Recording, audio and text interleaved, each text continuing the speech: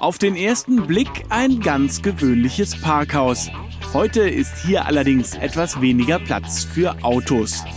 Denn das Parkhaus am Bahnhof in Grevenbruch wird anderweitig genutzt. Es müssen ja nicht immer die Modemetropolen Paris, Mailand, New York oder London sein, wo die neuesten Style-Trends herkommen. So zeigt sich nämlich auch einmal Grevenbruch von seiner modischen Seite bei der ersten Drive-In Fashion Show. Mit von der Partie Modeschöpferin Eva Brachten aus Mönchengladbach mit ihrer neuesten Kollektion, die gerade erst fertig geworden ist. Ich fand das spannend, zum ersten Mal so eine ja, Drive-In-Fashion-Show zu machen. Und was einfach toll ist, äh, dass eben auch befreundete Labels, Designer von mir äh, mitgemacht haben. Und es ist immer ein schöner Austausch und äh, einfach auch mal eine andere Stadt, in der man sich eben präsentiert.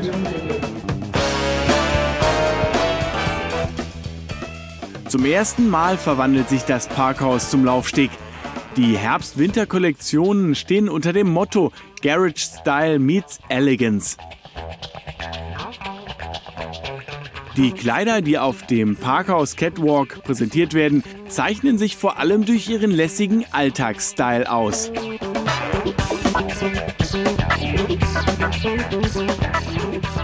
Also ich habe viele Nächte durchgearbeitet, also das äh, darf man nicht unterschätzen. Die Sachen sind handgemacht, dann noch das Organisatorische, also morgen bin ich, glaube ich, sehr müde. Modegeschäfte, Labels und Nachwuchsdesigner aus der Region haben hier eine Plattform, sich vorzustellen. Auch Stefanie Kaufmann aus Mönchengladbach überzeugt mit ihrer luftig leichten Kollektion und ganz viel Seide.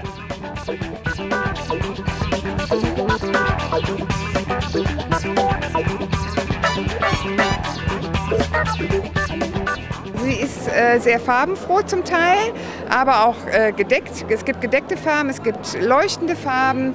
Sie zeichnet sich eigentlich dadurch aus, dass sie immer sehr leicht wirkt, also weil ich auch viel Seide ja verwende. Ähm, und dass sie sehr äh, vielseitig kombinierbar ist. Also alle Kleidungsstücke kann man auf mehrere Art und Weisen tragen. Das Parkhaus mutiert zu einem Geheimtipp für Modeinteressierte. Ein Modetreff unter Gleichgesinnten sozusagen. Also sehr, sehr schön. Aber ich bin überrascht, was man jetzt in so kurzer Zeit hier zustande gebracht hat, muss ich sagen. Der sonst so karge graue Betonbau in Grevenbruch hat sich also als Event-Location etabliert. Dort, wo sonst nur Autos parken, kann eben auch Mode Spaß machen.